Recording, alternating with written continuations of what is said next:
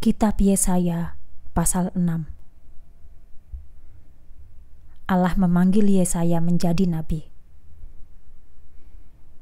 Pada tahun kematian Raja Uzia, aku melihat Tuhan duduk di atas tahta yang sangat tinggi dan indah.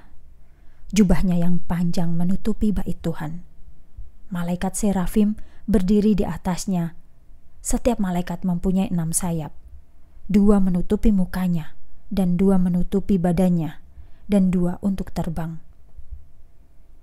Malaikat itu berseru satu sama lain, "Kudus, kudus, kudus, Tuhan yang Maha Kuasa, sangat kudus. Kemuliaannya memenuhi seluruh bumi."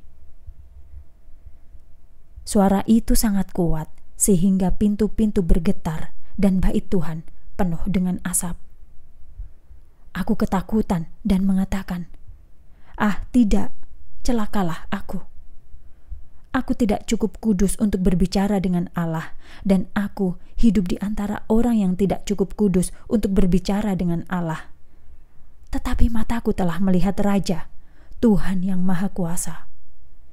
Ada api di atas mezbah. Salah satu dari malaikat serafim terbang ke arahku, dan dia membawa bara api di tangannya yang telah diambilnya dari mezbah dengan tang.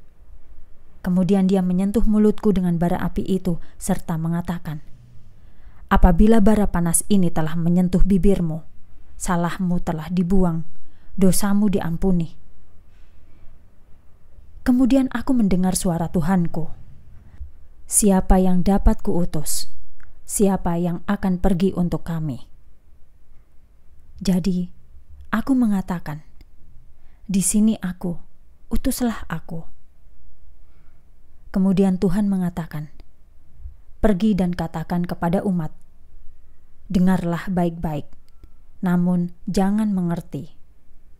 Lihatlah baik-baik, namun jangan pelajari. Buatlah mereka bingung, buatlah mereka tidak dapat mengerti apa yang didengar dan dilihatnya. Jika engkau tidak melakukannya, mereka mungkin dapat melihat dengan matanya, mendengar dengan telinganya, dan mengerti dengan pikirannya. Dan jika mereka melakukan itu, mereka mungkin dapat kembali kepadaku dan disembuhkan. Sesudah itu, aku bertanya, "Berapa lama aku harus melakukan itu, Tuhan?" Dia menjawab, "Lakukan itu sampai binasa kota-kota dan semua orang pergi." Lakukan itu sampai tidak ada orang tinggal di rumah dan negeri itu sunyi ditinggalkan.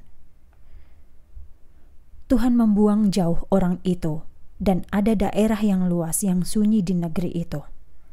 Sepersepuluh umat akan dibiarkan tinggal di negeri itu, tetapi itu pun akan binasa, seperti pohon ek. Walaupun pohon itu ditebang, tunggul masih tinggal. Tunggul itu menjadi bibit yang sangat khusus.